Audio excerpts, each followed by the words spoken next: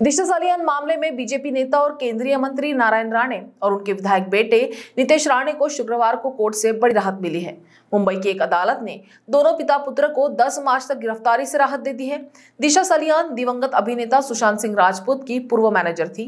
केंद्रीय मंत्री नारायण राणे और उनके विधायक बेटे नितेश राणे पर दिशा सालियान के बारे में मानहानिकारक और भ्रामक बयान देने का आरोप है।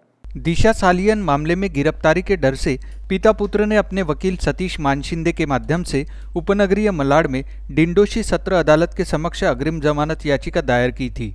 जैसे ही मामला सुनवाई के लिए आया, विशेष लोक अभियोजक प्रदीप घरात ने अपना जवाब दाखिल करने के लिए समय मांगा। अदालत ने पुलिस को सुनवाई की अगली तारीख तक उन्हें गिरफ़्तार नहीं करने को कहा।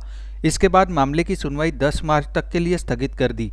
इस बीच मुंबई पुलिस शनिवार को इस मामले में राणे का बयान दर्ज कर सकती है। दिशा की माँ वसंती सलियान की शिकायत के आधार पर प्राथमिकी दर्ज की गई थी।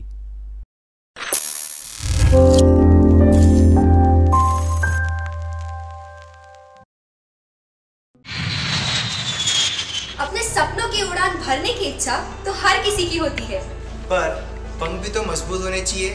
जो देता है Flywheel Aviation Academy Flywheel Aviation Academy एक ऐसा इंस्टीट्यूट है जहाँ पर एयरलाइंस एंड एयरपोर्ट हॉस्पिटैलिटी और टूरिज़्म मैनेजमेंट साथ ही यहाँ campus interview guidance by industry expert practical training at airport expert faculty personal grooming जैसे कई सारे बेनिफिट आप पा सकते हैं। Flywheel Aviation Academy one degree three job opportunities Flywheel Aviation Academy gives you a degree or diploma with a job. Flywheel Aviation Academy, 365 Gandhi Nagar, college College Square, beside bank Nagpur